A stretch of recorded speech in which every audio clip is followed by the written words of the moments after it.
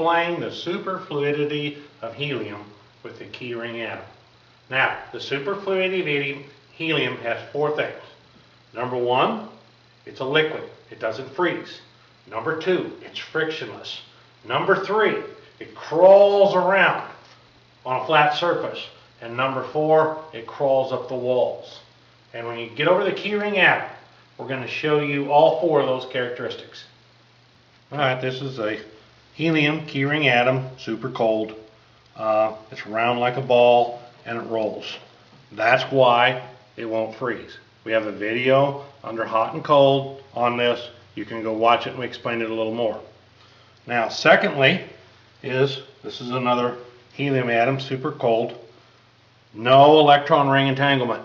That's why you have no friction. These are just going to roll and they're not going to entangle each other like balls. That's why they become frictionless. It's that easy. The third characteristic of the superfluidity of helium is it moves around on a flat surface. Now, all you have to do is think of it just like a car. If you get in your car and you give it some gas and the wheels start to turn, what happens when the wheels turn? You go in that direction. And that's what we're going to show you here with helium. That's what we have here. Cold helium. The electron rings are spinning like a wheel. So whenever it's like a tire touching the pavement. Whenever the tire spins, it goes. So these are going to be rolling around and when one, one of these wheels touches or of these electron ring touches like a wheel, they're going to crawl. That's the third thing that helium does when it's super cold. It rolls around, it crawls on its own. Not hard to understand. And the fourth thing is why the super cold helium, the superfluidity of helium, why does it climb up the wall? We're going to show you here with gravity.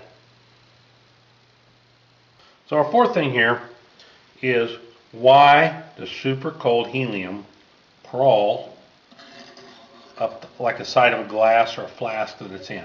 Why does it crawl up like that? Well, number one, you've got the wheels, which we saw, turning and going. But you got another force that you got to take into account, gravity. Now we know gravity goes to the earth.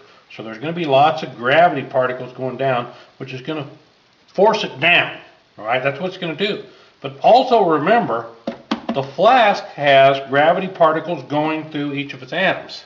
So if this was like a flask or a glass that super cold helium was in, as it got over here and it got to right here, if you had very close enough gravity here going this way and it was just slightly stronger than the gravity that's going to the earth, what's going to happen? It's going to cause it to force and push against the side of the glass or the flask that it's in, and once it does, when the wheels turn, it's going to crawl right up the wall.